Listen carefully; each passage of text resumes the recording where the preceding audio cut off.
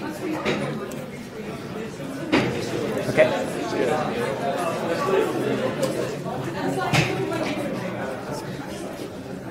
Okay, good afternoon everyone. I think we're just about ready to start. Well, first of all, thank you very much uh, for, for coming today. It's fantastic to see so many people uh, turn up, and it's certainly a testament to our speaker that we have, have today. Um, so this marks the very first school colloquia uh, that we're having this, uh, this year, and we're going to be holding these uh, every month, so we hope to have an exciting schedule coming up over the next few months. Uh, but today we're delighted to, um, uh, to introduce uh, Harry Bhadeshia from the University of Cambridge. Harry is uh, currently the Tata Steel Professor of Metallurgy, and there he leads the Phase Transformations group. Uh, as many of you know, uh, Harry has a great interest in, in, in steels and uh, in the science behind uh, iron and the related alloy systems. Uh, but today we're, we're going to be listening to a little bit, a small aspect, I imagine, of, of, of your research, which is uh, um, machine learning in, in material science. Um, so I'm sure we'll very much look forward to your talk. So it's time Thank you very much. so I'm delighted uh, at the numbers who are coming to listen to me. So I hope I live up to your expectations. But thank you for coming because you know without an audience, uh, a speaker is lost. Okay, so thank you for coming. Um, my talk uh, today, the main purpose is to remove the mystery from uh, machine learning. Right? It's made out to be a very big breakthrough. Everyone is talking about artificial intelligence, etc. And you know, we just accept what they say. But it turns out actually that it's a very simple um, method. And I hope to show you its workings today in the context of material science. Uh, we also need to ask the question, you know, what do we mean by intelligence? And I was interviewing a person who's working on intelligence, and uh, I said to her, look, you know, uh, people in machine learning are talking about artificial intelligence. Donald Trump insists that he is intelligence. What is your definition of intelligence? And she said to me, uh, there are two things, okay? One is episodic memory. That means you retain information that you've learned in the past and you can recall it to some extent, okay? But uh, the second thing that must also happen, yeah, because you know a computer can store information, that's not a big deal. Um, Second thing is that you will then try to plan the future on the basis of that information. So let's see whether machine learning actually qualifies as a method of intelligence. But you know, there is a simpler, simpler, much simpler meaning to intelligence. Yeah, there you go. Okay. so, now, I, I have uh, a lot of uh, contacts with Birmingham University. And one of them, I talk about uh, or some of the research that was done here. Uh, I talk about every single year in my lectures, both in crystallography and in steels. It was the most beautiful experiment that was done here, which I bet none of you remember, okay, or have even thought about. Is the first ever observation of an actual nucleus. Okay, so I'm going to show you that just, just to remind you of your achievements. So this is how we think about a transformation from, you know, let's say austenite, which is face-centered cubic, and has uh, close-packed layers in a sequence ABC, ABC, which you see on, on that side. And to change that into a hexagonal close-packed structure, you change that sequence into an AB, stacking. Right? So that's your hard sphere model.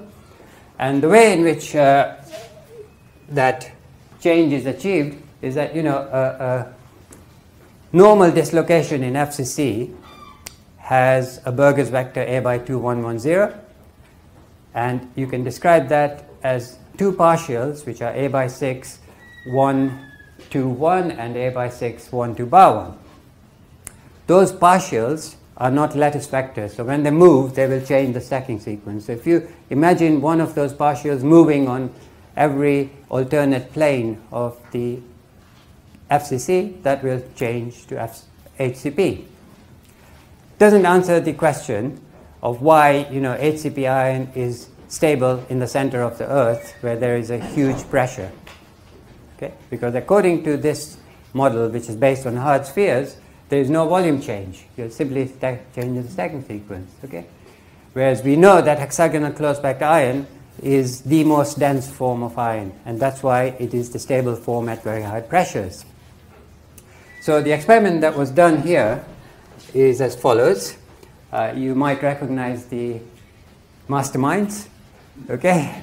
Uh, so you see on, on your left uh, a stacking fault imaged in a transmission electron microscope, and it has uh, uh, some fringes.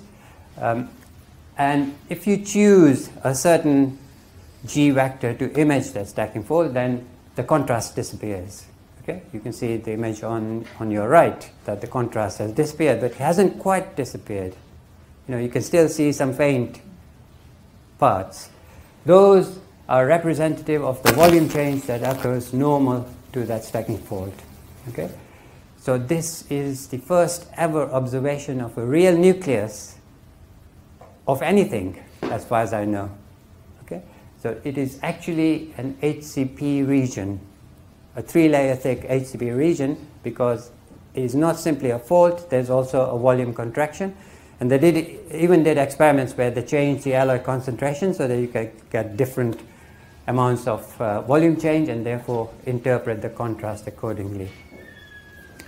So I, I, talk about this all the time you know, in my lectures uh, to students and even in research, uh, in the research context. Now, let me describe to you what a typical material science department looks like. Yeah, so you cover all these topics starting with, uh, you know, device materials which will include magnetic, superconduction, electronics, uh, semiconductors, and so forth. Uh, you have uh, physical metallurgy, you know, um, metals and uh, processing of metals, transformations in metals, materials chemistry, which is you know your corrosion and your extraction and your batteries and so forth. Uh, biomaterials, so artificial bones and uh, rapid release drugs or releasing drugs in the locations where they are needed and polymers, ceramics, and composites. And all of these uh, have two things in common. One is characterization. By characterization, I don't just mean microscopy. It could go from characterization of atoms to all the way, um, you know, buckling of beams and so forth. Yeah? So every aspect of characterization. And there is another part which is now common in all materials departments, right? and that is mathematical modeling. So, some form of mathematical modeling because you need to actually arrive at your goals in a more systematic way so that you reduce the time and resources needed to achieve those goals. So, all of these disciplines have some or other form of mathematical modeling. For example, electron theory, first principles calculations, where you deal with uh, you know, small numbers of atoms so that the computing time is not excessive. Uh, and supposing I want to work out the properties of iron in the diamond structure, this is the only method that I could do. Okay? And then I could work out the cohesive energy and show that there's nothing I can do to produce that form. Right?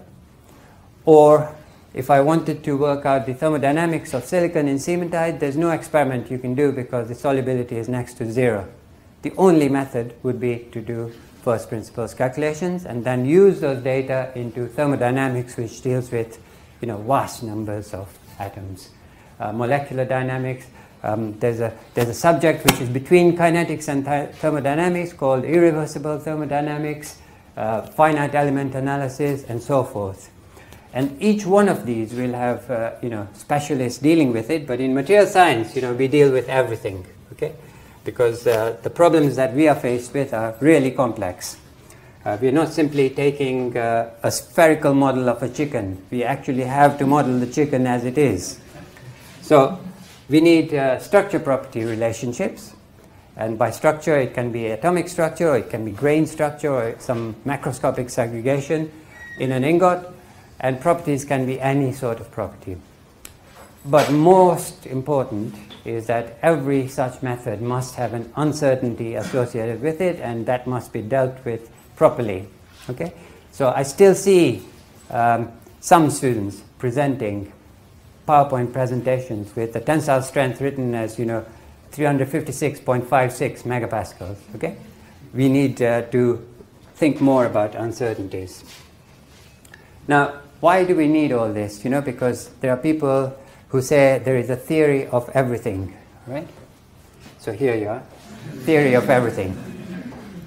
Why do we need to do anything, you know, if the theory exists for everything? Well, you know, if I went to Stephen Hawkins, who is in Cambridge, and I've been to his lecture, um, he could not predict for me any of these properties if I gave him a comprehensive description of the composition, the processing, and structure at every levels. He could not predict any of these. Okay? So, you know, people like to use sexy phrases like dark matter and so on, but those are just things which they don't understand. And to him, theory of everything is nothing more than a few equations describing a black hole. There's no way anyone in the world can predict any of these properties. Okay, so there's a challenge for you. Argue with me if you want to.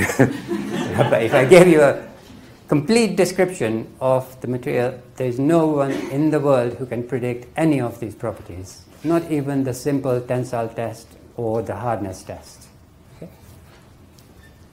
So, how do we deal with this when we are actually trying to design um, power stations in which the steam temperature will be 620 degrees centigrade over a period of 40 years and 100 megapascal strength. That sort of a scale of an object, that's one of my former students, Tracy Cool, and she's about 5 feet 10 inches there, so that's a micrometer marker. Now, if you look at this power station material, it's got at least 20 important solutes in it, right? Not impurities, but important solutes in it. It has been thermomechanically processed in various ways. It, it has been welded, which is like destroying the local structure. Uh, and you can use a variety of welding processes, and there are subsequent heat treatments to um, reduce residual stresses or regions where the material becomes too hard, and so forth. How on earth do you make a, a model for this?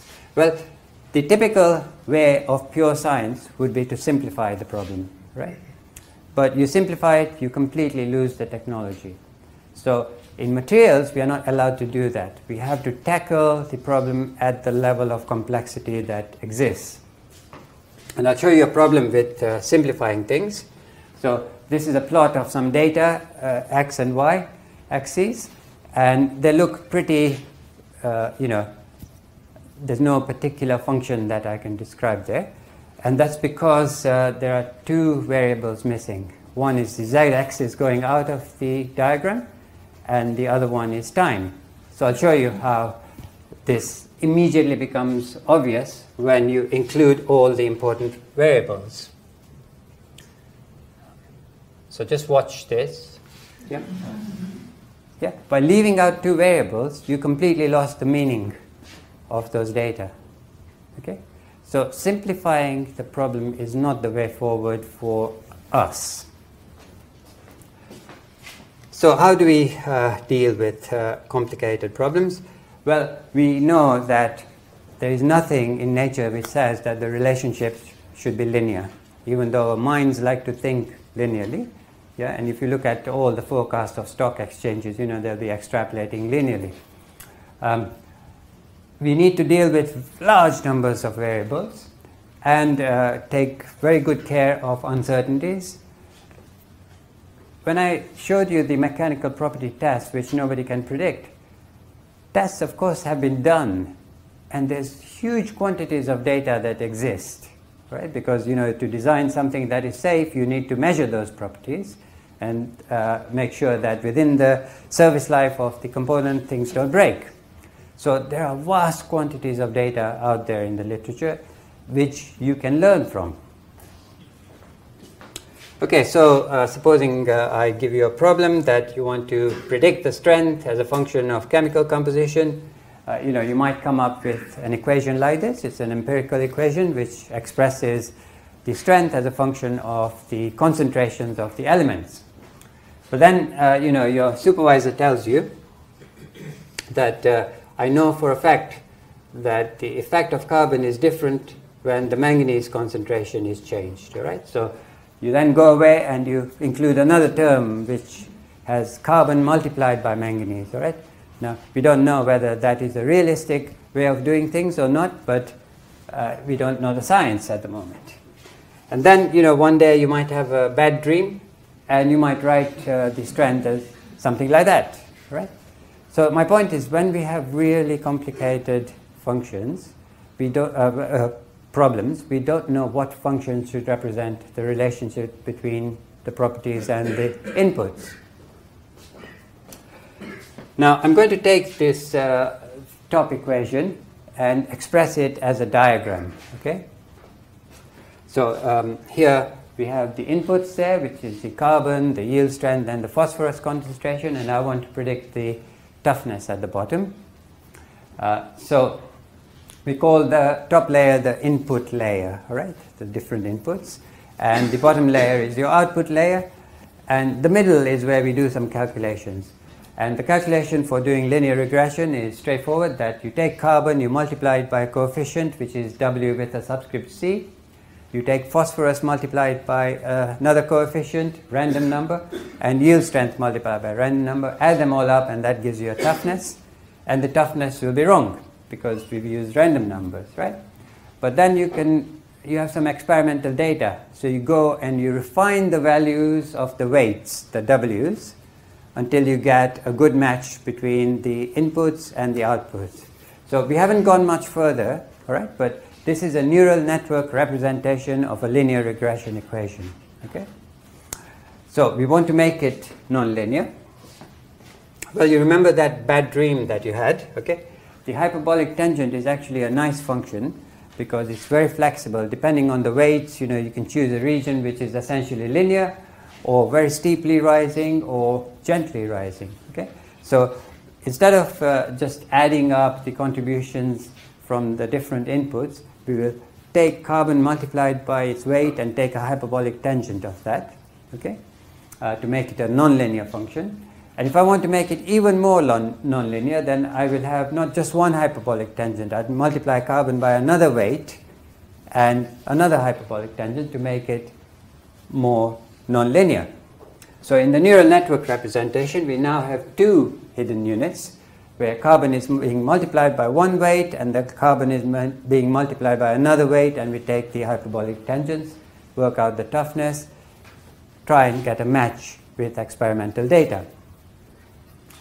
So this is a neural network. I can use as many hidden units as I want to make my function as complex as I need it to be. And you must have heard about deep learning, right? So deep learning simply means there are many, many more hid, hidden layers, uh, which makes the computational tasks incredibly difficult. And the clever thing about deep learning is how you try and find the good weights, good sets of weights for multiple hidden layers. Okay, so this is a neural network and very, very simple mathematical equation to describe this. Yeah, that is all that a neural network is. Yeah? You've got your output, which is y, which is the sum of the, um, sorry, um, yeah, output is y, wi are the weights, and h is where we do the hyperbolic tangents. And theta is like the constant that you have in linear regression, okay? And you can have any number of variables, yeah, so x of i, and uh, you can have any number of hidden units to make it as complicated as you like to fit the complexity of your problem. So just to illustrate how complex you can get, here we have just four hidden units, four hyperbolic tangents, and just by changing the weights, I, I can make this function sing and dance. Okay? You can see how it can dramatically change just by changing the weights with just four hidden units. Okay? So imagine, you know, we have 100 hidden units, you can produce extremely, uh, extremely complex functions, okay, which might capture the real complexity of your data. So, just to see if you're awake, I've got some data here. Which function should I choose? Is it the straight line or the polynomial?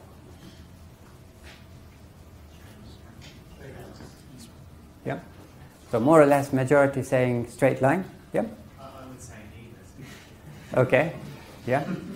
Uh, so um, actually, we don't know because we don't know the science behind x and y, right? We don't know whether it should vary linearly or like this. So you know, you're right. So how do we decide, you know, what level of complexity we should have? Because you know, the red curve is passing through every single point, right? It may be the right function, but we can make the function so complex that it will pass through every single point and we get perfect agreement between experiment and um, calculation. Okay, so here's uh, how we do it. So there are two sets of data there, the black points and the dots with the black circles. Uh, so they represent one data set, and we've just split them at random into the black and the circles. Okay? We only use the black dots to produce the model, and then we use the circles to see how the model generalizes. Right? So in the first case, A there, the model, the straight line is too simple. Both the training error, that means the uh, data that we used for producing the model, is large, and so is the test error, which is the uh, error in making predictions on unseen data. Okay? Now, if I make my function incredibly complicated, as in C, then I will get a very small training error. But when we try to predict some unseen data, we get poor extrapolation. So the test error goes up. And somewhere in between, you have an optimum level of complexity which helps you to solve the problem of overfitting. Okay? Very important problem. That if we can make our functions as complicated as we like, then how can we avoid the problem of overfitting? Well, that's very simple, and we've solved it. So this is homeopathic coffee? Because I had coffee in this before, and now I'm diluting it with water. Okay, so just to show you how we often are misled by overfitting. Um, the austenite grain size is very important in nuclear pressure vessels to use. Okay, so where's uh, Alex? Yeah, yeah, we were talking about this, right? And um, these are thermal grooves to measure the austenite grain size.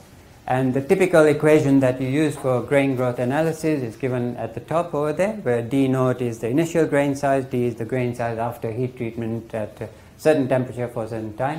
If you look at the literature, the activation energy Q varies from 700, 900 kilojoules per mole to uh, 270. That's ridiculous, right? Because the self diffusion coefficient of iron is about 210 kilojoules per mole. And none of the solutes that you add to it have a bigger activation energy. So this is just silly to talk about activation energies of 900 kilojoules per mole for grain growth. Now, um, of course, you have to think about what has been ignored, and sometimes we ignore the time taken to get to the temperature, right? So we modified these equations. Uh, they look a bit more complicated, but nothing particularly complex. Uh, we have now the heating rate and the time taken to get to the isothermal temperature and so on. And what we did was we took that equation and we did a neural network analysis plotting y against x to see where we can get comparable er- test and training errors. All right? We vary q, the activation energy, and you can see here that both the training and test data have comparable errors. Okay? And that is at 190 kilojoules per mole, which is much more reasonable than any of the other numbers. Everything else in this region, where you have large activation energies, is overfitting. Okay? Your data does not justify the uh, level of fitting. And look, you can predict the austenite grain size accurately with 190 kilojoules per mole. And then the same equation with exactly the same activation energy was applied to another variant uh, of the nuclear pressure vessel steel, which is supposed to be the fourth generation with high nickel concentration, and no problems in predicting the austenite grain size. That means it's generalized to data which uh, were never seen. Okay? So here we have a physical equation which was being used to interpret austenite grain size with ridiculous activation energies. And a couple of years after we published this, a student from this department emailed me and said he's getting 700 kilojoules per mole. Why is that? I was immediately able to send him a copy of the paper. Okay? So overfitting is a problem when we do empirical analysis. So we solve that problem easily by taking our data and keeping this part away from the model when you're creating it. But there is another problem. So here I have a sequence of numbers. Tell me what the next two numbers should be. 10 and 12, okay? I, I said to Mike Loretto that, uh, you know, the best students are sitting in front, okay? so, uh, yep, so, you know, we, we imagine that we can extrapolate linearly because going from 2 to 4 and 4 to 6 and 6 to 8 is linear. But look, uh, here is an equation in which if I put 2, I will get exactly 4. If I put 4, I will get exactly 6. And if I put 6, I will get exactly 8. But if I put 8, I will get 8.91 and then 7.64. So both of these equations exactly there's no noise in our data. They exactly reproduce your data, but they behave differently outside of the knowledge base. Yeah, so this is a plot showing you how they behave. There is no way that you can solve this problem. Okay? There are two mathematical functions which precisely describe your data, but they extrapolate differently. But you know there is something to learn from this. Um, I call this, uh, actually not me, but in the business, this is called the modeling uncertainty. That means you have more than one model which can represent your data. And when you go outside of the domain of known um, data, this is your error, which is the modeling uncertainty, right? So it's not the error when you repeat an experiment and you get a different result because something is not controlled. It's an error because the models are ambiguous, right? And the modeling error is not a constant. It varies with where you are making the prediction. Okay, very very important uh, to deal in machine learning. You have two errors to deal with. One is the modeling uncertainty, and the other one is the noise in the data. Okay, the noise in the data everyone is familiar with, but not the modeling uncertainty. And this is another way of illustrating it. That look, uh, all three models, you know, fairly well represent the experimental data, but they extrapolate differently, and the modeling uncertainty is different in different parts. so in machine learning, um, we don't create just one model, okay, but we create hundreds of models and see how they generalize to give an indication that look you are working in a region where we have no knowledge. So be careful. Right so the error may be large but your prediction might be correct. You just need to think about the prediction that you've made. Does it make physical sense? Uh, of course it's a very complex problem so you may not know the answer. In that case you would do an experiment in that region. Okay? That brings me to the next uh, story this is uh, the fusion reactor, and uh, the sort of damage that a material would sustain in a fusion reactor is far greater than in a fission reactor. So we expect uh, 200 displacements per atom. That means every atom knocked out of its position 200 times during the lifetime of the component, compared with a fission reactor where it's 30 times. Okay. Uh, so of course uh, there's no facility in which you can expose a material to 200 dPa of damage, study it, and see whether it will survive. Right? Uh, a facility is being built, but it will take some time. Uh, and when it is built, the amount, the volume of material that you can expose is really quite small. Okay? So you've got to think very carefully about what experiments you're going to put in this facility.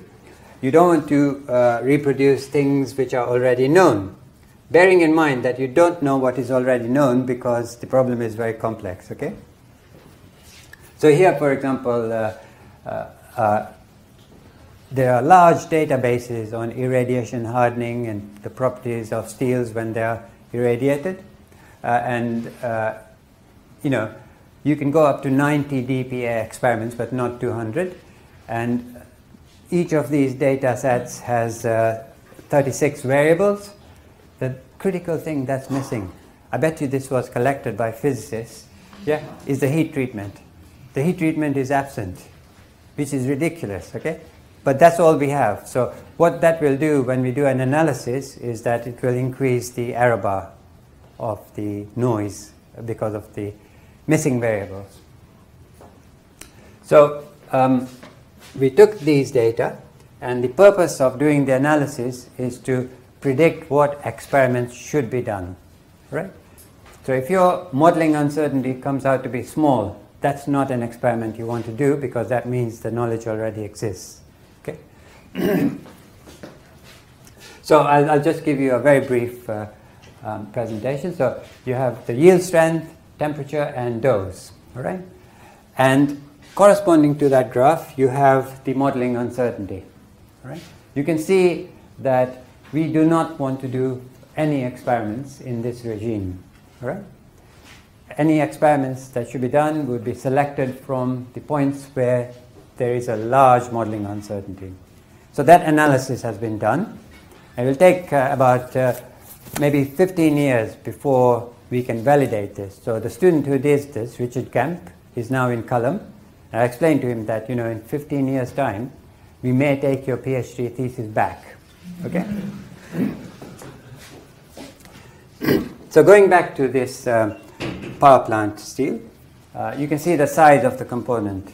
So you cannot make such a big component in one go uh, there are welds along the length. and the welding itself has a great number of parameters, um, many different processes, subsequent heat treatments, and so on. And with the new steels, you also have to have new welding alloys. So we developed a, a neural network model on the weld metal itself and in order to test it, it was very fortunate that there was some data on new welding alloys from Japan, okay? Because some of these tests take a very long time. So these data were never used in creating the model. What I want to show you here in particular is that the modeling uncertainty is very large, the dashed lines, right? Nevertheless, the model is predicting correctly if you've designed it to take account of all the important variables that you know of. Right? If you try to be too ambitious and include too many variables, you may not have enough data, right? Because people don't report everything. So basically, if that model had existed when Nippon Steel developed these weld, welding alloys, you wouldn't have needed to do these experiments. So we then went on to develop uh, a new welding alloy, and the dashed lines represent the targets that were set by industry and the points are the actual achievements in yield strength, elongation, toughness, and impact energy. And everything goes fine except at high temperatures. Yeah? You can see that the predictions are better than the measurements. So something is going wrong with uh, our predictions for 700 degrees centigrade. So we look at the optical microscope, everything looks normal, what we expect. But when we see the 700 degrees C case, uh, we've got recrystallization happening. Okay? And the strength then drops. So now you know what the problem is. It's very easy to solve it. So if you want to stop recrystallization, you put some vanadium carbide, which will pin the boundaries, and the problem is solved. Okay? So even to recognize when things are not working is useful using neural networks.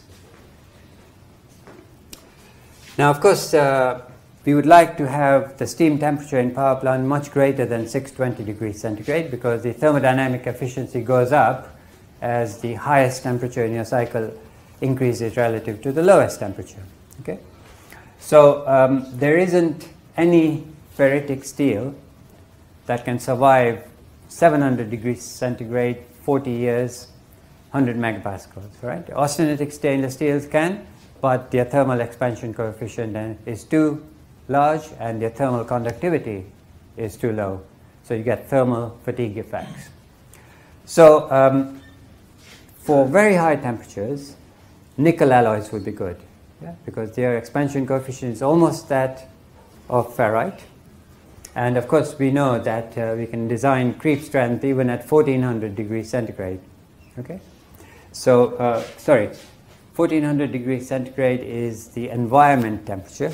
The blade itself doesn't reach that temperature, fortunately, because it would melt. Okay? Um, so, uh, you know, they are routinely used in jet engines, even as uh, single crystal alloys. But the weight uh, of that blade, the cost of that weight of blade is the same as the cost of silver. Okay, it's very, very expensive, and you're only using small quantities. Now you saw the scale of power plant objects, right? They're huge. There's no way that you can afford conventional nickel-based alloys for power plant. So we set about to redesign uh, or, or rather degrade nickel alloys until they become cheap enough for service at a lower temperature, which is 700, 750 degrees centigrade. And came up with this simple composition using neural networks. All right? So even iron is added. Iron is not good for nickel-based alloys, but you can use scrap material if you allow iron in there. And um, it has some gamma prime. You can see some particles there, but much lower volume fraction. And these were the predictions, and these were the experiments done after the alloy was made, and that includes the creep creep life. Okay, so the experiments were all done after the predictions were made, and the database on nickel alloys is also huge. Okay, so we learned from that database. The alloy is called FT750DC. 750 is for the steam temperature. FT is for Franck Tancret, who was the postdoc who did the work. And do you know what DC means? Dirt cheap. Okay. Okay, now I'm going to show you, you know, uh, why I think there is intelligence in this method, right? So remember our definition of intelligence, right? That you remember what's been done in the past and you're able to plan the future, okay? So we also created a model for fatigue properties. And the inputs are listed on the horizontal axis. Uh, again, there are huge quantities of fatigue data in the literature. And we're looking at fatigue crack growth, right? And the vertical axis simply says, you know, this variable explains so much of the variation in the output. It's like a partial correlation coefficient, okay? So this is for steels. Only data from steels being used, all right? But notice there is nothing in the inputs which says that this material is a steel. Absolutely nothing. They're all parameters which are engineering parameters, right? You know, you have your stress intensity range, the frequency, the ratio uh, of the minimum to maximum stress intensity, and the proof strength, tensile strength, and elongation. There's absolutely nothing in there which identifies this as steel. Okay? But the model only used steel data for its creation. I'm going to show you how it predicts for other materials. So for steel, you know, these are unseen data being plotted against the model. That's fine. Um, nickel alloys. How about that? Yeah. The same model without any modification is predicting the fatigue crack growth rate in nickel alloys. Titanium and aluminium alloys. So this is not a black box. You know, you saw that it has a very simple equation describing the network. When you expand the equation, it's very, very long, all right? But it's a simple equation. And if it's designed in such a way that it will generalize, it predicts very well across materials. I mean, I was amazed by this. Now, there are many, many other examples that I can give you. Uh, there is a paper we wrote in 1999, which is a review and explains everything that I've told you in this lecture. And there's a huge amount of other material available on that website.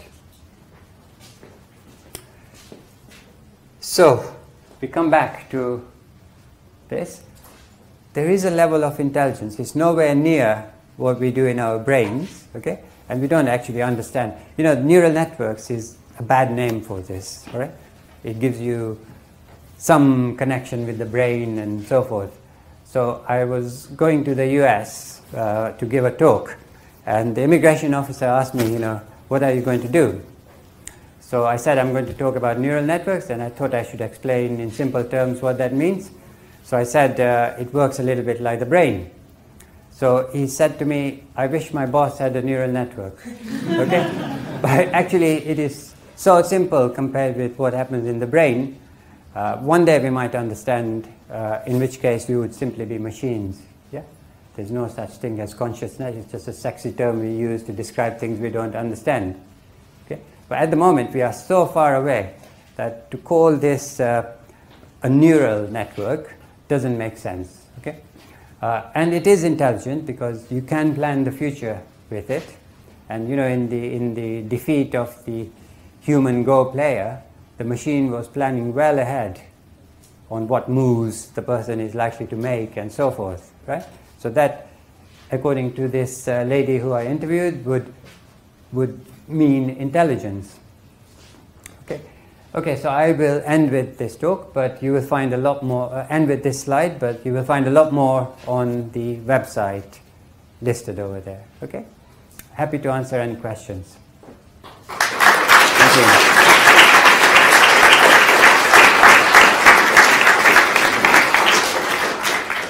Thank you very much, Harry. Okay. Thank you for a fantastic talk. Incredibly exciting, incredibly inspiring. Um, I was the thing that always worries me about neural networks is that you don't know what they know. You, the hidden layers Hmm. is something that you, you just don't really understand.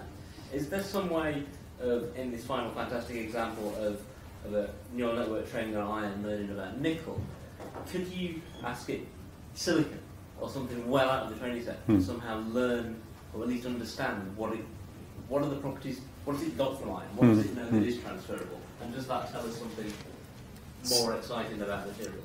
So, so the first first bit that you said, yeah.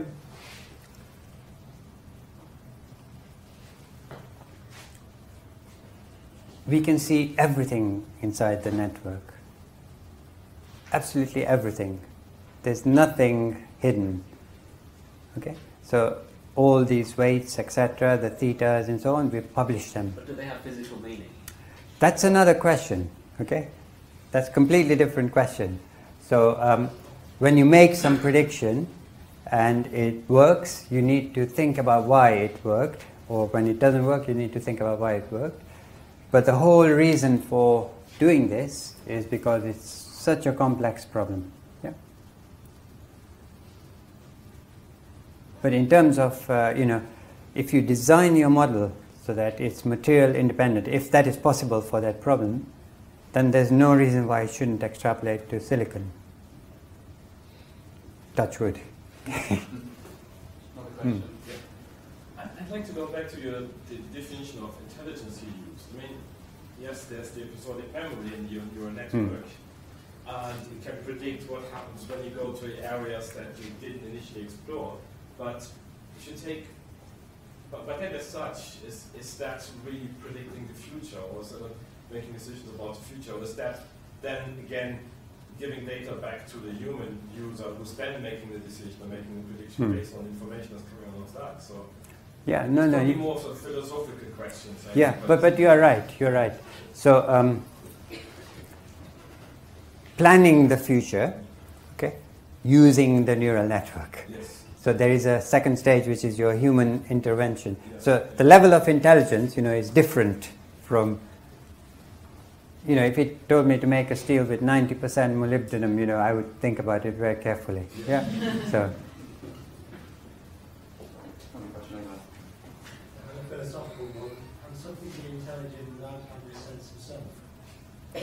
That's uh, again a very good question. So you know, when we talk about, uh, so I've had, uh, I learned all this from uh, the late David MacKay, and we used to have a lot of arguments about whether we are alive or not.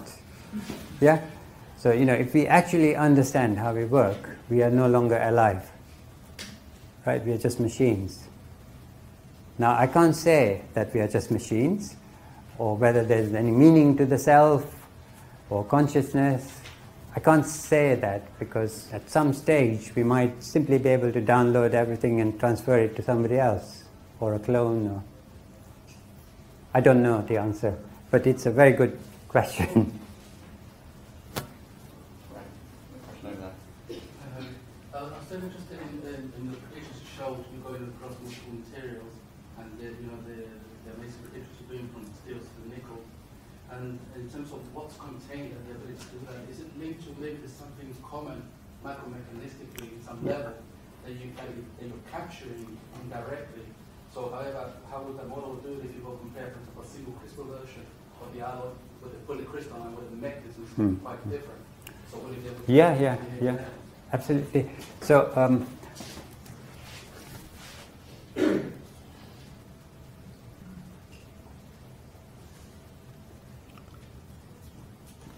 So, you know, as long as the process is described by these variables, right?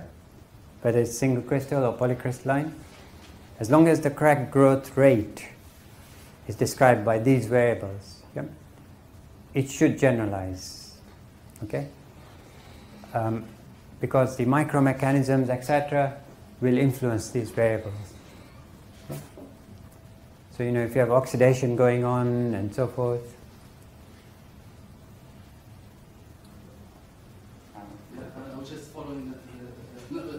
Mm. So one of the things that maybe something common, maybe that's what you're able to capture. Mm. And the other, and there are cases where if that's not captured, is where the mechanisms are quite different. Where you've got the same variables, but mechanistically. Yeah, yeah, no, no, you're right. Uh, so, so uh, there's no corrosion included here, for example. Yeah, so this should not work. Okay, but you know the plastic zone size will depend on parameters like this, and the plastic zone size, you know, has an effect on fatigue crack growth rate and so on.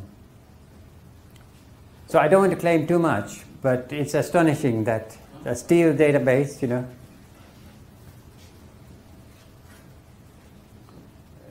Yeah. I have another question. Hmm. That's okay. Yeah. That's philosophical this time. Um, so you, you, got this incredibly model that can make a lot of predictions, but I in your work or of the work of others that you're aware of, have you seen someone might say, oh, that's astonishing, now there's something we should be taking a closer look and understand the mechanism back. Is that yeah. facilitates that? Because yeah. as such, it's not giving us any explanation, it's just saying that's the way it is. Yeah, absolutely right. So, uh, of course, uh, uh, we are interested in, particularly in alloy design. Yeah. When we make the alloy, we then do all the sort of work that you would do to examine mechanisms, look at the structure, the stability, and so on and so on. But it helps you to get to something faster, yeah. just like any other modeling method, you know. So it's a tool, you know. Hmm. I think I'm, I'm, following up with, with Hector and Niels hmm. on this one, uh, really wanting to open up the black box and see what we can actually learn from hmm. what's, uh, from what's going on uh, inside. And I just wondered uh, where you think there are the greatest opportunities to get mechanistic information. You mentioned mm-hmm. that it doesn't work with corrosion, which uh, uh, was obviously fascinating for me, but I, I, want to park that because that's an extra uh, level of complexity. But within these parameters that you've got there, hmm. uh, do you have, um, you know, if you were to pick a direction of, of investigation, hmm. uh, where would you go amongst these parameters yeah. to find out what's perhaps a key controlling uh, mechanism that would be common to the two most different materials Right, you right. can think of. Yeah, so there are various things in the neural network method, method which you can interrogate. So just in this graph, for example, the vertical uh, bars represent, you know, how much of the output is explained by this variable. So in this case, you know, the stress intensity range has the biggest effect. Yeah? And then you might wonder, you know, why does loading mode have an effect? Which is, I've only plotted the significant ones, all right? Uh, you can look at the individual weights as well. The problem is that this is nonlinear. So the effect of carbon when the manganese concentration is so much will be different from the effect of carbon. From that itself, you can you can learn something. You know, it's uh, this is not easy. Uh, so you would spend maybe two years creating the model, interrogating it, and testing it, and so on. Once it's done, it works in milliseconds. Yeah. So uh, those of you who have Android phones, yeah, you can find an app on my website which calculates the Martensite start temperature using neural network. All right. So in the middle of the night, if you need to calculate the Martensite start temperature, you can do it because the computational power required for actually using it is much less than for creating the model. And that's why you know you can think about uh, uh, controlling cars and so forth. Given that the computational power to actually run the model is quite small, also computational power has increased dramatically over the past 20 years, is the next big challenge really getting more training data? Is that going to become the barrier for further advancements in Yeah. technique? Data undoubtedly is the difficult part. Yeah, so you want to capture as much as exists in the literature. That's very painful. Yeah, uh, and uh, of course, people don't report failures.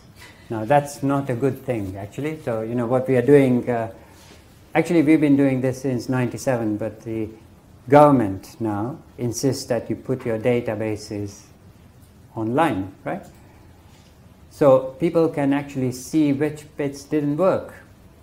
And that is actually very valuable for a network. Yep. Are there any further questions at all? Okay, can- Maybe I can just ask one more question. um, you had the data which had the fatigue plot where you were making predictions at quite high stress levels. Hmm. Can you take that data to a company and do they believe you?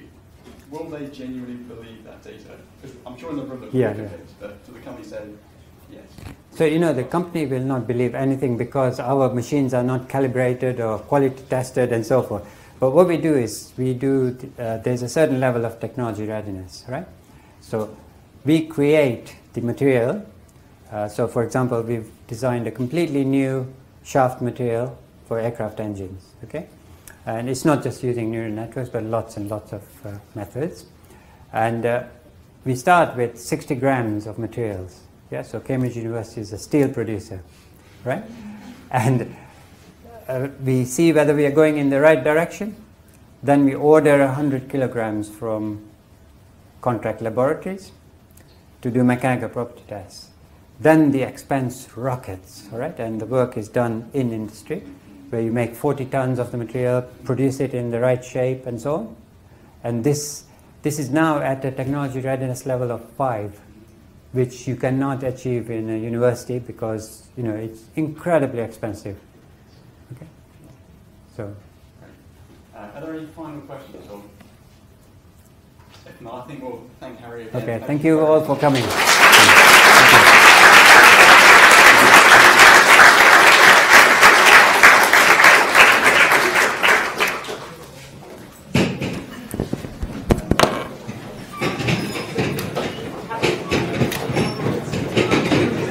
If anyone would like to stay and have a chat with Harry, I'm sure.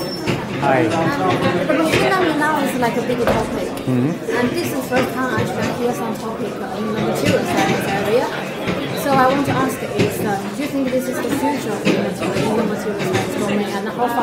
And currently, um, all the employers and students, they learn very little about it. Right, right. And do you think they should put more time and effort to Okay.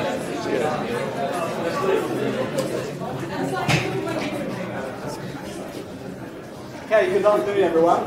I think we're just about ready to start. Well, first of all, thank you very much uh, for, for coming today. It's fantastic to see so many people uh, turn up, and it's certainly a testament to our speaker that we have, have today. Um, so this marks the very first school colloquia uh, that we're having this, uh, this year, and we're going to be holding these uh, every month, so we hope to have an exciting schedule coming up over the next few months. Uh, but today we're delighted to, um, uh, to introduce uh, Harry Bhadeshia from the University of Cambridge. Harry is uh, currently the Tata Steel Professor of Metallurgy, and there he leads the uh, Phase Transformations uh, group. Uh, as many of you know, uh, Harry has a great interest in, in, in steels and uh, in the science behind iron and the related alloy systems. But today we're, we're going to be listening to a little bit, a small aspect, I, imagine, of, of, of, your research, which is um, machine learning in, in material science. Um, so I'm sure very much look forward to your talk. So time to take the Thank you very much. Uh, so I'm delighted uh, at the numbers who are coming to listen to me. So I hope I live up to your expectations. But thank you for coming because you know without an audience, uh, a speaker is lost. Okay, so thank you for coming. Um, my talk uh, today, the main purpose is to remove the mystery from uh, machine learning. Right? It's made out to be a very big breakthrough. Everyone is talking about artificial intelligence, etc. And you know, we just accept what they say. But it turns out actually that it's a very simple um, method. And I hope to show you its workings today in the context of material science. Uh, we also need to ask the question, you know, what do we mean by intelligence? And I was interviewing a person who's working on intelligence, and uh, I said to her, look, you know, uh, people in machine learning are talking about artificial intelligence. Donald Trump insists that he is intelligence. What is your definition of intelligence? And she said to me, uh, there are two things, okay? One is episodic memory. That means you retain information that you've learned in the past and you can recall it to some extent, okay?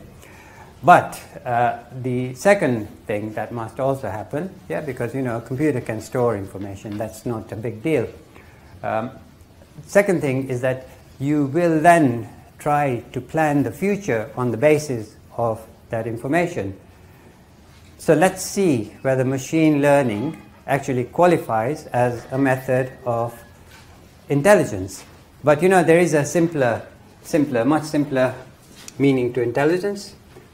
Yeah, there you go. Okay. so, now, I, I have uh, a lot of uh, contacts with Birmingham University.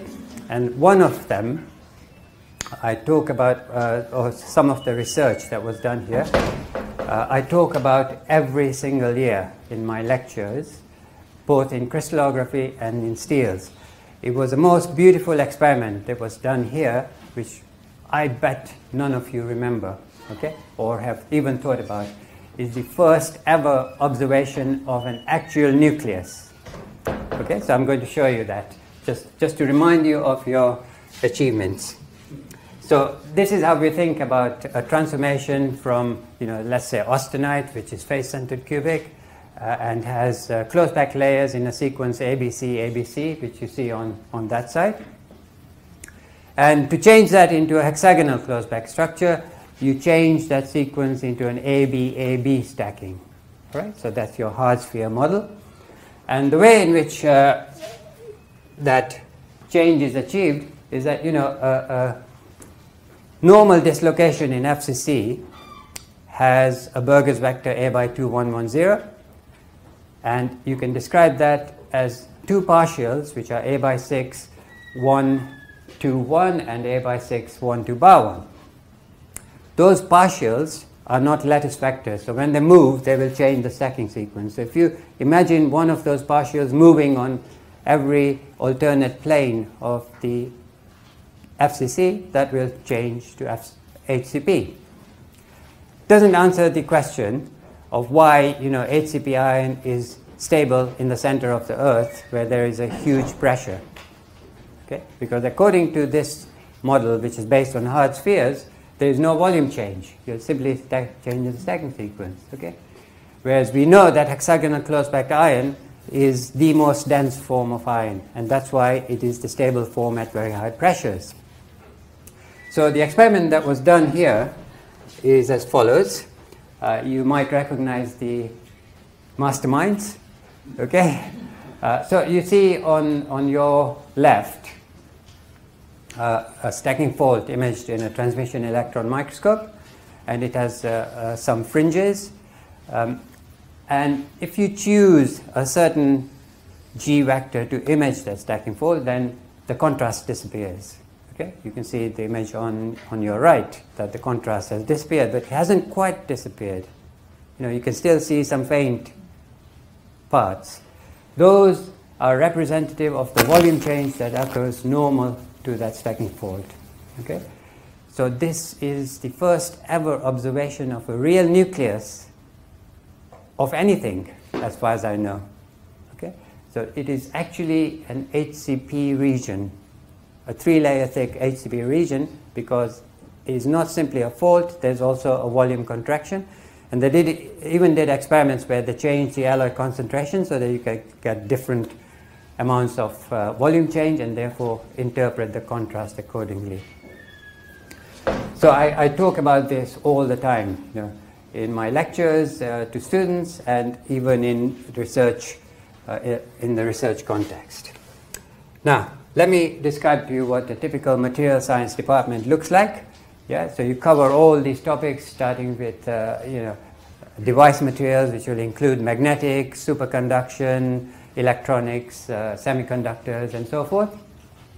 Uh, you have uh, physical metallurgy, you know, um, metals and processing of metals, transformations in metals, materials chemistry, which is you know your corrosion and your extraction and your batteries and so forth.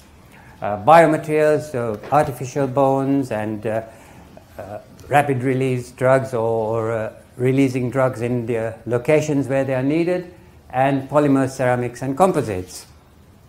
And all of these have two things in common. One is characterization. By characterization, I don't just mean microscopy. It could go from characterization of atoms to all the way, um, you know, buckling of beams and so forth. Yeah? So every aspect of characterization. And there is another part which is now common in all materials departments, right? And that is mathematical modeling. So some form of mathematical modeling because you need to actually arrive at your goals in a more systematic way so that you reduce the time and resources needed to achieve those goals. So all of these disciplines have some or other form of mathematical modeling. For example, electron theory, first principles calculations where you deal with uh, you know, small numbers of atoms so that the computing time is not excessive. Uh, and Supposing I want to work out the properties of iron in the diamond structure. This is the only method that I could do. Okay? And then I could work out the cohesive energy and show that there's nothing I can do to produce that form. Right? Or if I wanted to work out the thermodynamics of silicon in cementite, there's no experiment you can do because the solubility is next to zero. The only method would be to do first principles calculations and then use those data into thermodynamics which deals with you know, vast numbers of atoms. Uh, molecular dynamics, um, there's, a, there's a subject which is between kinetics and th- thermodynamics called irreversible thermodynamics, uh, finite element analysis, and so forth. And each one of these will have uh, you know, specialists dealing with it, but in material science, you know, we deal with everything. Okay? Because uh, the problems that we are faced with are really complex. Uh, we are not simply taking uh, a spherical model of a chicken. We actually have to model the chicken as it is. So we need uh, structure property relationships. And by structure, it can be atomic structure, or it can be grain structure, or some macroscopic segregation in an ingot. And properties can be any sort of property. But most important is that every such method must have an uncertainty associated with it, and that must be dealt with properly. Okay? So I still see um, some students presenting PowerPoint presentations with the tensile strength written as, you know, 356.56 megapascals. Okay? we need uh, to think more about uncertainties. Now, why do we need all this? You know, because there are people who say there is a theory of everything, right? So here you are, theory of everything. Why do we need to do anything, you know, if the theory exists for everything? Well, you know, if I went to Stephen Hawking, who is in Cambridge, and I've been to his lecture, um, he could not predict for me any of these properties if I gave him a comprehensive description of the composition, the processing, and structure at every levels. He could not predict any of these. Okay? So, you know, people like to use sexy phrases like dark matter and so on, but those are just things which they don't understand. And to him, theory of everything is nothing more than a few equations describing a black hole. There's no way anyone in the world can predict any of these properties. Okay, so there's a challenge for you. Argue with me if you want to. but if I gave you a complete description of the material, there's no one in the world who can predict any of these properties, not even the simple tensile test or the hardness test. Okay?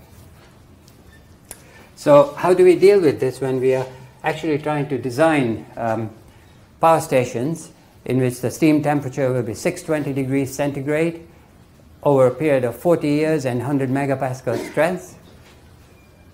That sort of a scale of an object. That's one of my former students, Tracy Cool, and she's about 5 feet 10 inches there, so that's a micrometer marker. Now, if you look at this power station material, it's got at least 20 important solutes in it, right? Not impurities, but important solutes in it. It has been thermomechanically processed in various ways. It it has been welded, which is like destroying the local structure. Uh, and you can use a variety of welding processes, and there are subsequent heat treatments to um, reduce residual stresses or regions where the material becomes too hard, and so forth. How on earth do you make a, a model for this? Well, the typical way of pure science would be to simplify the problem, right? But you simplify it, you completely lose the technology. So in materials, we are not allowed to do that. We have to tackle the problem at the level of complexity that exists. And I'll show you a problem with uh, simplifying things. So this is a plot of some data, uh, x and y axes, and they look pretty, uh, you know, there's no particular function that I can describe there. And that's because uh, there are two variables missing. One is the z-axis going out of the diagram, and the other one is time. So I'll show you how this immediately becomes obvious when you include all the important variables.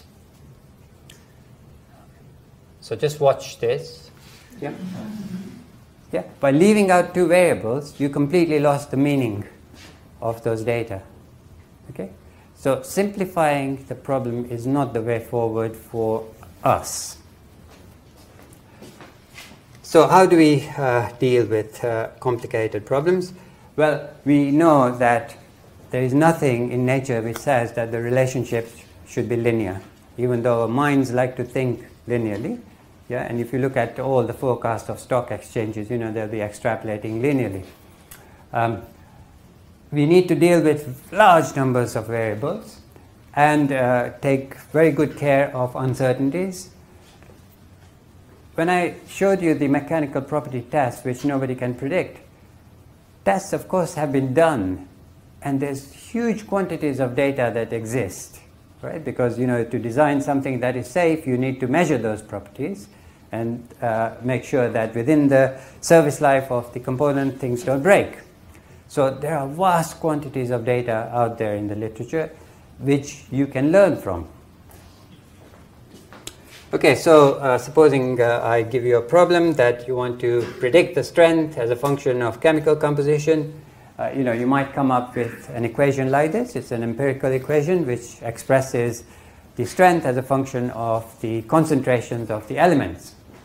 But then, uh, you know, your supervisor tells you that uh, I know for a fact that the effect of carbon is different when the manganese concentration is changed, all right? So you then go away and you include another term which has carbon multiplied by manganese, all right? Now, we don't know whether that is a realistic way of doing things or not, but uh, we don't know the science at the moment. And then, you know, one day you might have a bad dream and you might write uh, the strand as something like that, right? So my point is when we have really complicated functions, we don't, uh, uh, problems, we don't know what functions should represent the relationship between the properties and the inputs. Now I'm going to take this uh, top equation and express it as a diagram, okay? So um, here we have the inputs there, which is the carbon, the yield strength, and the phosphorus concentration, and I want to predict the toughness at the bottom.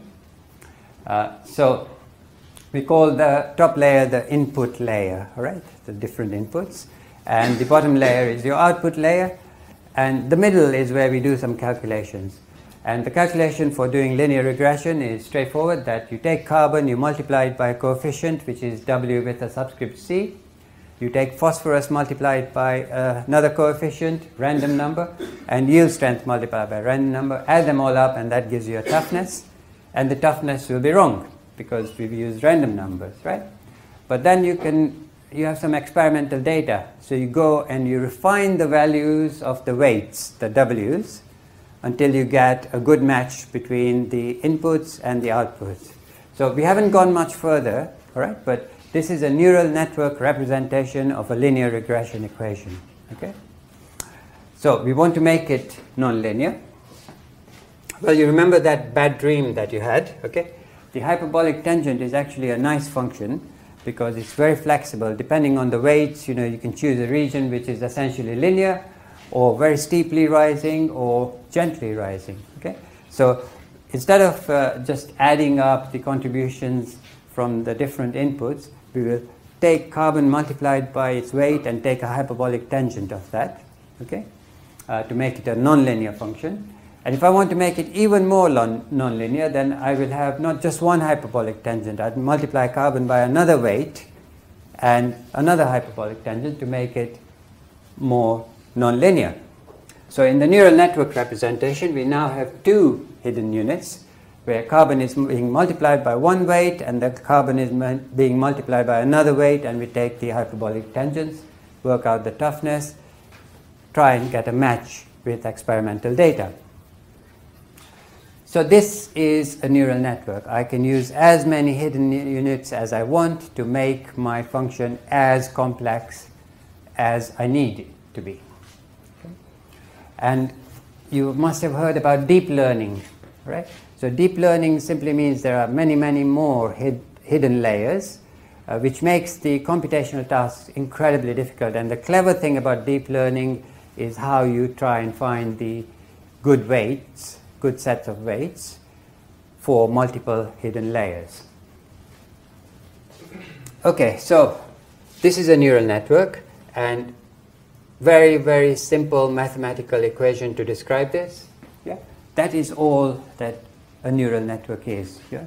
You've got your output, which is y, which is the sum of the, um, sorry, um, yeah, output is y, wi are the weights, and h is where we do the hyperbolic tangents. And theta is like the constant that you have in linear regression. Okay? And you can have any number of variables, yeah, so x of i, and uh, you can have any number of hidden units to make it as complicated as you like to fit the complexity of your problem.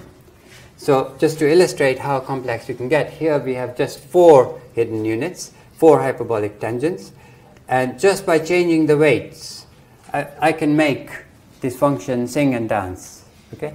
You can see how it can dramatically change just by changing the weights with just four hidden units. Okay, so imagine, you know, we have 100 hidden units, you can produce extremely, uh, extremely complex functions, okay, which might capture the real complexity of your data. So, just to see if you're awake, I've got some data here. Which function should I choose? Is it the straight line or the polynomial?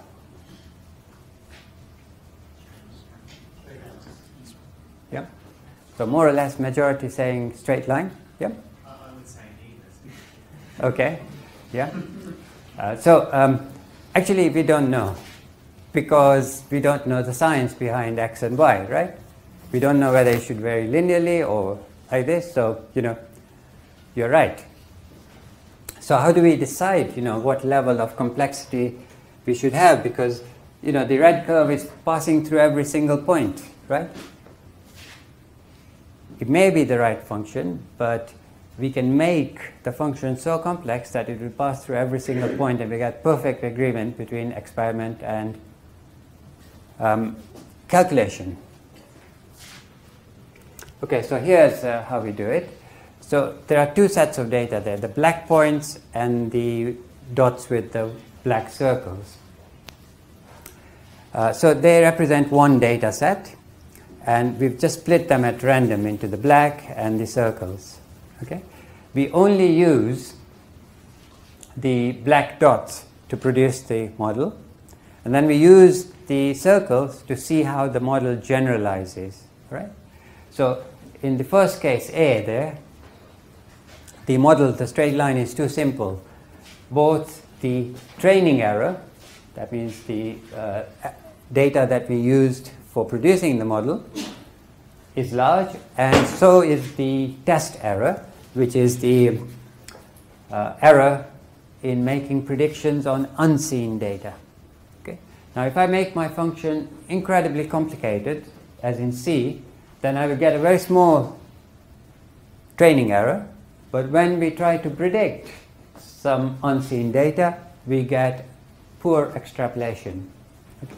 So the test error goes up. And somewhere in between, you have an optimum level of complexity which helps you to solve the problem of overfitting. Okay? Very important problem. That if we can make our functions as complicated as we like, then how can we avoid the problem of overfitting? Well, that's very simple, and we've solved it. So this is homeopathic coffee, right? Because I had coffee in this before, and now I'm diluting it with water. Okay, so just to show you how we often are misled by overfitting. Um, the austenite grain size is very important in nuclear pressure vessels to. Okay, so where's uh, Alex? Yeah, yeah, we were talking about this, right? And um, these are thermal grooves to measure the austenite grain size. And the typical equation that you use for grain growth analysis is given at the top over there, where D naught is the initial grain size, D is the grain size after heat treatment at a certain temperature for a certain time. If you look at the literature, the activation energy Q varies from 700, 900 kilojoules per mole to uh, 270. That's ridiculous, right? Because the self-diffusion coefficient of iron is about 210 kilojoules per mole. And none of the solutes that you add to it have a bigger activation energy. So this is just silly to talk about activation energies of 900 kilojoules per mole for grain growth. Now, um, of course, you have to think about what has been ignored, and sometimes we ignore the time taken to get to the temperature, right? So we modified these equations. Uh, they look a bit more complicated, but nothing particularly complex. Uh, we have now the heating rate and the time taken to get to the isothermal temperature and so on. And what we did was we took that equation and we did a neural network analysis plotting y against x to see where we can get comparable er- test and training errors. All right? We vary q the activation energy. And you can see here that both the training and test data have comparable errors. Okay? And that is at 190 kilojoules per mole, which is much more reasonable than any of the other numbers. Everything else in this region, where you have large activation energies, is overfitting. Your data does not justify the uh, level of fitting. And look, you can predict the austenite grain size accurately with 190 kilojoules per mole. And then the same equation with exactly the same activation energy was applied to another variant uh, of the nuclear pressure vessel steel, which is supposed to be the fourth generation with high nickel concentration, and no problems in predicting the austenite grain size. That means it's generalized to data which uh, were never seen. Okay? So here we have a physical equation which was being used to interpret austenite grain size with ridiculous activation energies. And a couple of years after we published this, a student from this department emailed me and said he's getting 700 kilojoules per mole. Why is that? I was immediately able to send him a copy of the paper. Okay? So overfitting is a problem when we do empirical analysis. So we solve that problem easily by taking our data and keeping this part away from the model when you're creating it. But there is another problem. So here I have a sequence of numbers. Tell me what the next two numbers should be. 10 and 12, okay? I, I said to Mike Loretto that, uh, you know, the best students are sitting in front, okay? so, uh, yep, so, you know, we, we imagine that we can extrapolate linearly because going from 2 to 4 and 4 to 6 and 6 to 8 is linear. But look, uh, here is an equation in which if I put 2, I will get exactly 4. If I put 4, I will get exactly 6. And if I put 6, I will get exactly 8. But if I put 8, I will get 8.91 and then 7.64. So both of these equations exactly, there's no noise in our data, they exactly reproduce your data, but they behave differently outside of the knowledge base. Yeah, so this is a plot showing you how they behave. There is no way that you can solve this problem. There are two mathematical functions which precisely describe your data, but they extrapolate differently. But, you know, there is something to learn from this. Um, I call this, uh, actually not me, but in the business, this is called the modeling uncertainty.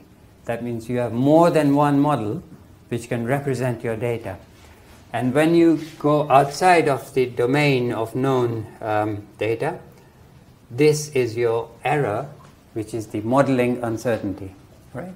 So it's not the error when you repeat an experiment and you get a different result because something is not controlled. It's an error because the models are ambiguous, right? And the modeling error is not a constant. It varies with where you are making the prediction. Okay, very very important uh, to deal in machine learning. You have two errors to deal with. One is the modeling uncertainty, and the other one is the noise in the data. Okay, the noise in the data everyone is familiar with, but not the modeling uncertainty. And this is another way of illustrating it. That look, uh, all three models you know, fairly well represent the experimental data, but they extrapolate differently and the modeling uncertainty is different in different parts. so in machine learning,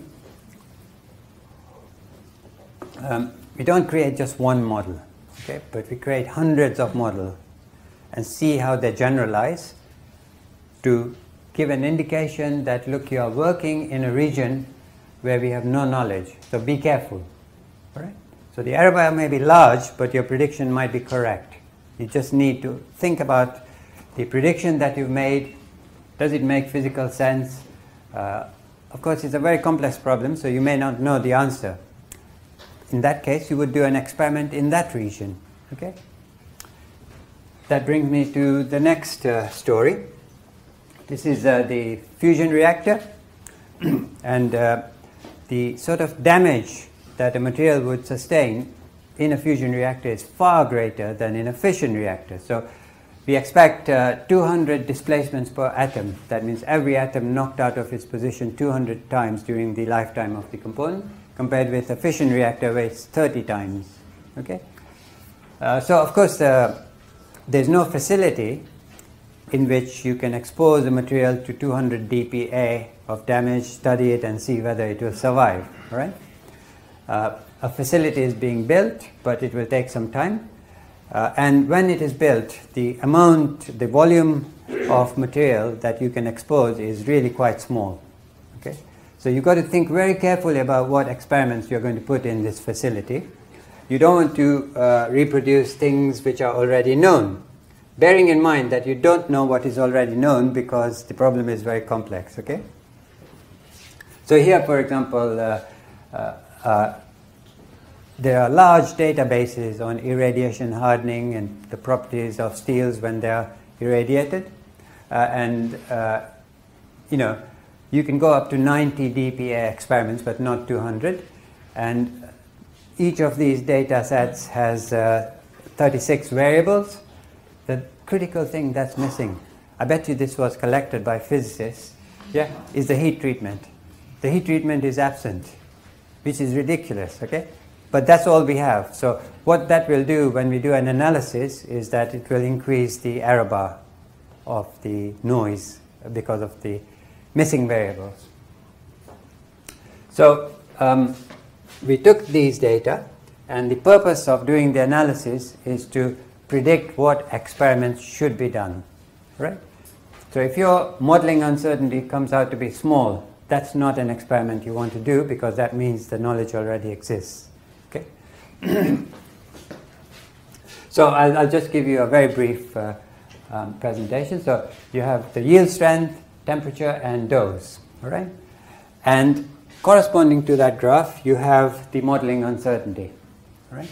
You can see that we do not want to do any experiments in this regime, all right? Any experiments that should be done would be selected from the points where there is a large modeling uncertainty. So that analysis has been done. It will take uh, about uh, maybe 15 years before we can validate this. So the student who did this, Richard Kemp, is now in Culham. I explained to him that, you know, in 15 years' time, we may take your PhD thesis back. Okay? so going back to this uh, power plant steel, uh, you can see the size of the component. So you cannot make such a big component in one go uh, there are welds along the length. and the welding itself has a great number of parameters, um, many different processes, subsequent heat treatments, and so on. And with the new steels, you also have to have new welding alloys. So we developed a, a neural network model on the weld metal itself and in order to test it, it was very fortunate that there was some data on new welding alloys from Japan, okay? Because some of these tests take a very long time. So these data were never used in creating the model. What I want to show you here in particular is that the modeling uncertainty is very large, the dashed lines, right? Nevertheless, the model is predicting correctly if you've designed it to take account of all the important variables that you know of. Right? If you try to be too ambitious and include too many variables, you may not have enough data, right? Because people don't report everything.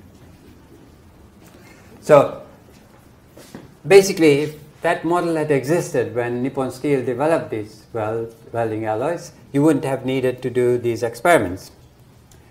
So we then went on to develop uh, a new welding alloy, and the dashed lines represent the targets that were set by industry and the points are the actual achievements in yield strength, elongation, toughness, and impact energy. And everything goes fine except at high temperatures. Yeah? You can see that the predictions are better than the measurements. So something is going wrong with uh, our predictions for 700 degrees centigrade. So we look at the optical microscope, everything looks normal, what we expect. But when we see the 700 degrees C case, uh, we've got recrystallization happening. Okay? And the strength then drops. So now you know what the problem is. It's very easy to solve it. Yeah? So if you want to stop recrystallization, you put some vanadium carbide, which will pin the boundaries, and the problem is solved. Okay? So even to recognize when things are not working is useful using neural networks. Now, of course, uh, we would like to have the steam temperature in power plant much greater than 620 degrees centigrade because the thermodynamic efficiency goes up as the highest temperature in your cycle increases relative to the lowest temperature. Okay?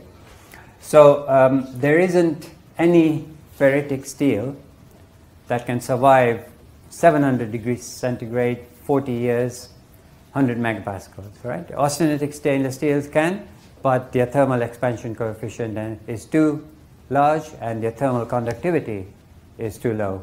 So you get thermal fatigue effects. So um, for very high temperatures, nickel alloys would be good yeah? because their expansion coefficient is almost that of ferrite. And of course, we know that uh, we can design creep strength even at 1400 degrees centigrade. Okay?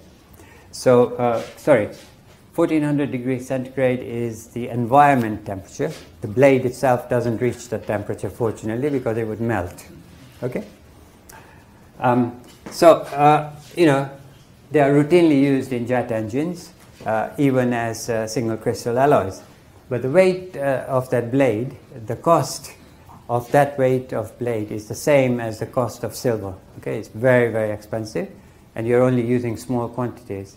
Now, you saw the scale of power plant objects, right? They're huge. There's no way that you can afford conventional nickel based alloys for power plant. So, we set about to redesign uh, or, or rather degrade nickel alloys until they become cheap enough for service at a lower temperature, which is 700, 750 degrees centigrade. And came up with this simple composition using neural networks. So even iron is added. Iron is not good for nickel-based alloys, but you can use scrap material if you allow iron in there. And um, it has some gamma prime, you can see some particles there, but much lower volume fraction.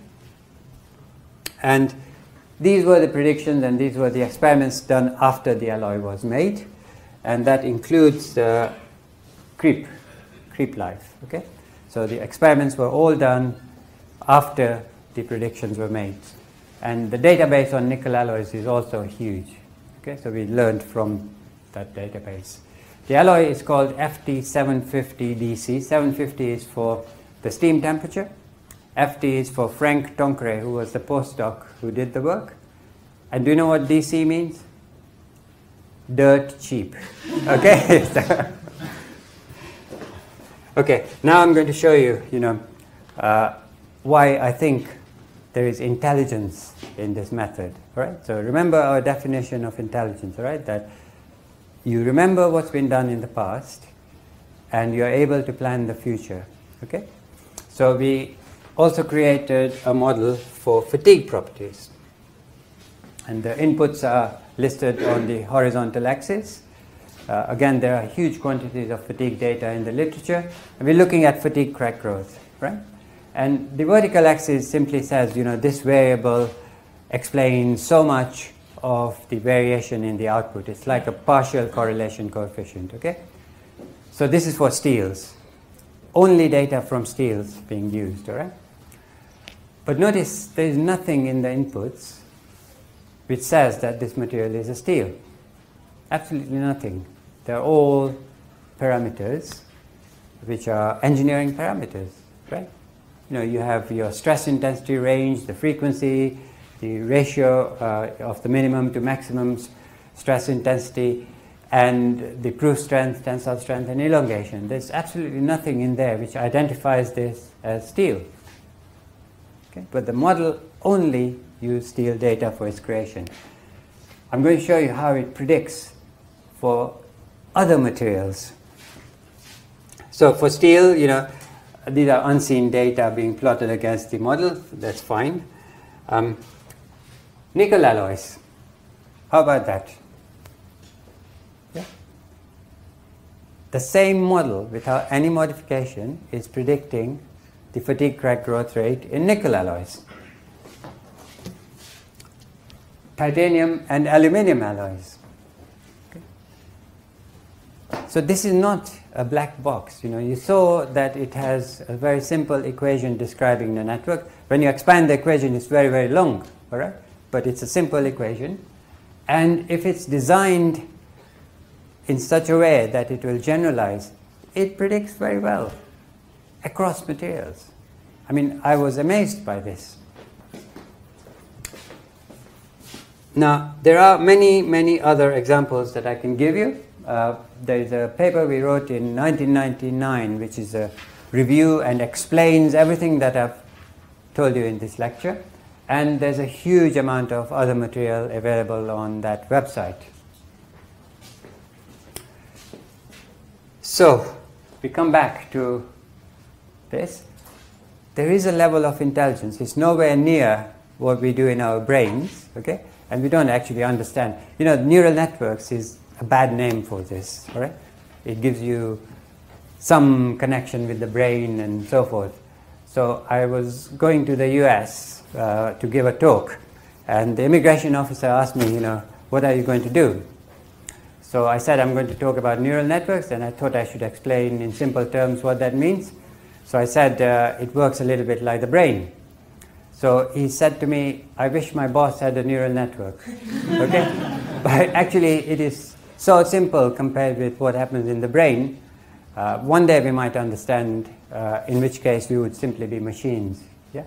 There's no such thing as consciousness, it's just a sexy term we use to describe things we don't understand. Okay? But at the moment, we are so far away that to call this uh, a neural network doesn't make sense. Okay? Uh, and it is intelligent because you can plan the future with it. And you know, in the, in the defeat of the human Go player, the machine was planning well ahead on what moves the person is likely to make and so forth, right? So that, according to this uh, lady who I interviewed, would, would mean intelligence.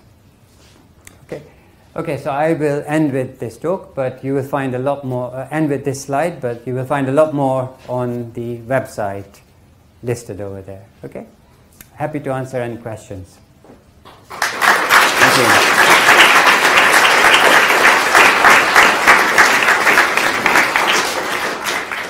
Thank you. Very much, Harry. Okay. Thank you for a fantastic talk. Incredibly exciting, incredibly inspiring. Um, I was the thing that always worries me about neural networks is that you don't know what they know. You, the hidden layers Hmm. is something that you, you just don't really understand. Is there some way of, in this final fantastic example of, of a neural network training on iron learning about nickel, could you ask it silicon or something well out of the training set Hmm. and somehow learn or at least understand what it, what are the properties, what has it got from iron, what does Hmm. it know Hmm. that is transferable, and does that tell us something more exciting about materials? So, so the first first bit that you said, yeah.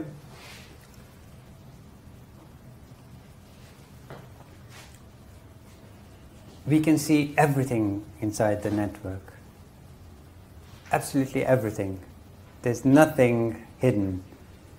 Okay? So all these weights, etc., the thetas and so on, we publish them. But do they have physical meaning? That's another question, okay? That's a completely different question. So, um, when you make some prediction and it works, you need to think about why it worked, or when it doesn't work, you need to think about why it worked. But the whole reason for doing this is because it's such a complex problem. Yeah? But in terms of, uh, you know, if you design your model so that it's material independent, if that is possible for that problem, then there's no reason why it shouldn't extrapolate to silicon. Touch wood. Question. I'd I'd like to go back to your the definition of intelligence you used. I mean, yes, there's the episodic memory in your neural network, and it can predict what happens when you go to areas that you didn't initially explore.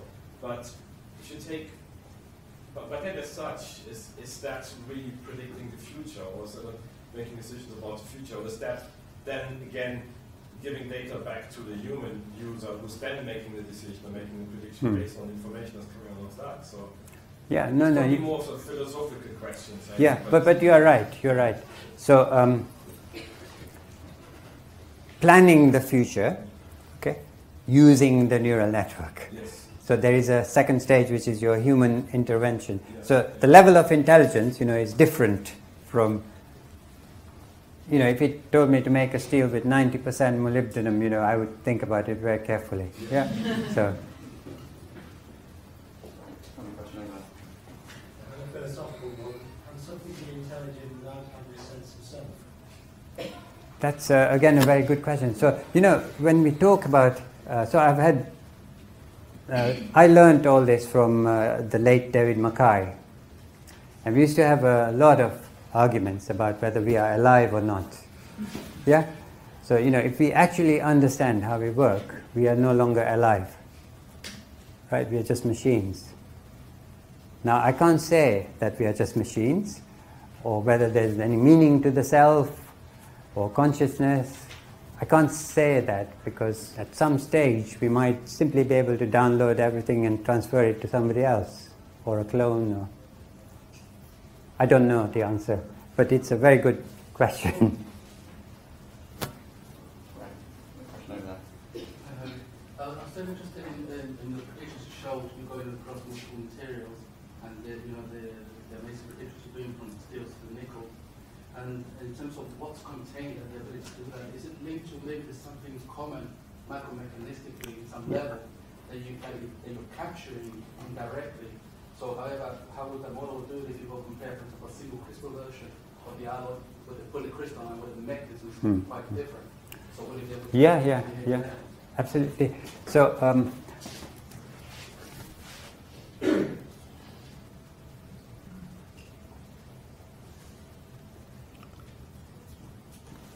so you know, as long as the process is described by these variables, right? Whether it's single crystal or polycrystalline, as long as the crack growth rate is described by these variables, yeah, it should generalize. Okay? Um, because the micromechanisms, etc., will influence these variables. Okay? So, you know, if you have oxidation going on and so forth, Yeah, I- I was just following the, the, the, no, I agree. Hmm. So I'm just saying is that there's maybe something common, maybe that's what you're able to capture. Hmm. And there are, and there are cases where if that's not captured, is where the mechanisms are quite different, where you've got the same variables, but mechanistically. Yeah, yeah, no, no, you are right. Uh, so, so uh, there's no corrosion included here, for example. Yeah, so this should not work. Okay, but you know the plastic zone size will depend on parameters like this, and the plastic zone size, you know, has an effect on fatigue crack growth rate and so on. So I don't want to claim too much, but it's astonishing that a steel database, you know,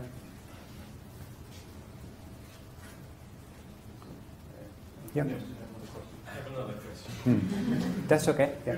Less philosophical this time. Um, so you, you got this incredibly model that uh, can make a lot of predictions, but I, in your work or of the work of others that you're aware of, have you seen someone and say, oh, that's astonishing, now there's something we should be taking a closer look and understand the mechanism that Yeah. facilitates that? Because Yeah.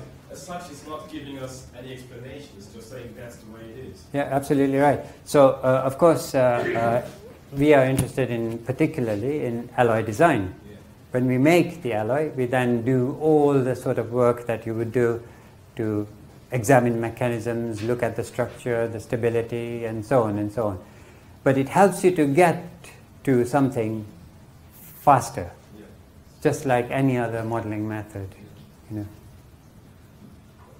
So it's a tool, you know. Hmm.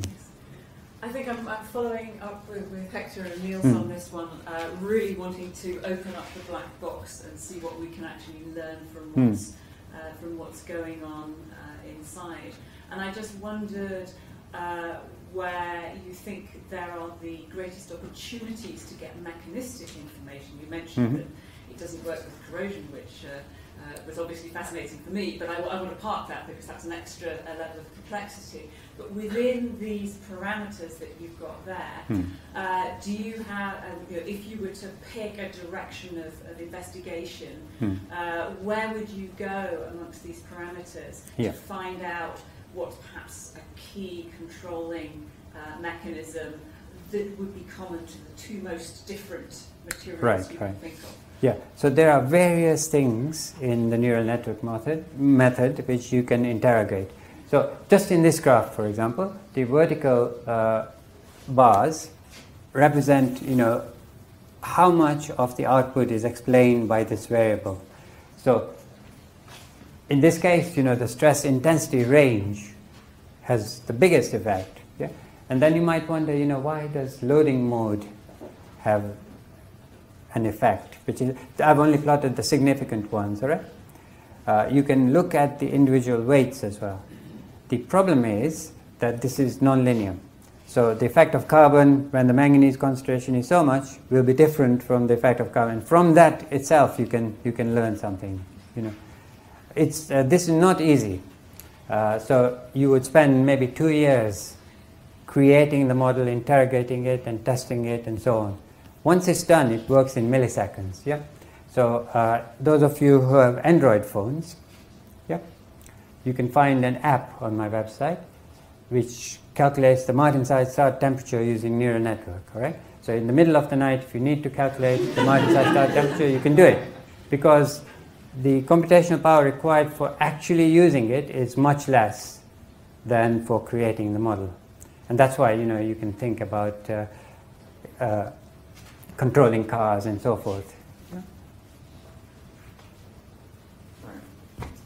Given that the computational power to actually run the models is quite small, also computational power has increased dramatically over the past 20 years, is the next big challenge really getting more training data? Is that going the barrier for further advancements Yeah. Data undoubtedly is the difficult part. Yeah, so you want to capture as much as exists in the literature. That's very painful. Yeah, uh, and uh, of course, people don't report failures. Now, that's not a good thing, actually. So, you know, what we are doing. Uh, actually, we've been doing this since '97, but the government now insists that you put your databases online, right? So people can actually see which bits didn't work. And that is actually very valuable for a network. Yep. Are there any further questions at all? Okay, can- Maybe I can just ask one, one question. um, you had the data which had the fatigue plot where you were making predictions at quite high stress levels. Hmm. Can you take that data to a company and do they believe you? Will they genuinely believe that data? Because I'm sure in the room that Yeah, yeah, yeah. but to the company say yes. So, you know, the company will not believe anything because our machines are not calibrated or quality tested and so forth. But what we do is we do, uh, there's a certain level of technology readiness, right? So we create the material. Uh, so, for example, we've designed a completely new shaft material for aircraft engines, okay? And it's not just using neural networks, but lots and lots of uh, methods. And uh, we start with 60 grams of materials. Yeah, so Cambridge University is a steel producer, right? And uh, we see whether we are going in the right direction. Then we order 100 kilograms from contract laboratories to do mechanical property tests. Then the expense rockets, all right? And the work is done in industry, where you make 40 tons of the material, produce it in the right shape, and so on. And this, this is now at a technology readiness level of five, which you cannot achieve in a university because you know it's incredibly expensive. Okay, so Uh, are there any final questions all? If not, I think we'll thank Harry again. okay, thank you very all for coming.